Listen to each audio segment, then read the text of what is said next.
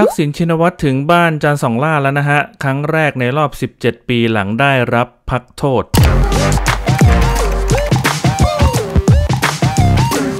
18 กุมภาพันธ์นะครับ นายทักษิณชินวัตรอายุ 74 ปีนะฮะ อดีตนายกรัฐมนตรีจะมารับการพักโทษ ภายหลังพักรักษาตัวที่โรงพยาบาลตำรวจนะครับ โดยเข้าเกณฑ์พักโทษเป็นกรณีพิเศษนะฮะ พบว่ามีกองทัพสื่อมวลชนมาปักหลักรอทำข่าวกันเป็นจำนวนมาก แล้วเวลา6นาฬิกา32 นาทีนะครับ นายทักษิณก็เดินทางมาถึงบ้านจันทร์ส่องหล้า ด้วยรถตู้เบนซ์สีดำนะครับ ทะเบียนพศ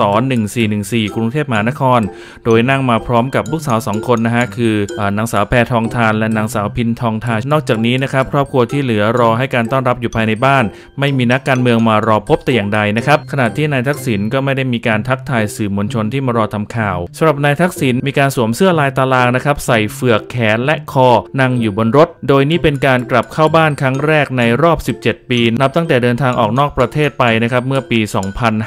2551 ขอบคุณข้อมูลดีๆจากกระปุก .com และขอบคุณเพื่อนๆติดตามด้วยนะครับ ฝากกดไลค์กดแชร์กด Subscribe เพื่อเป็นกำลังใจกันด้วยนะครับ แล้วเจอกันใหม่ในคลิปหน้าสำหรับวันนี้ไปแล้วครับ สวัสดีครับ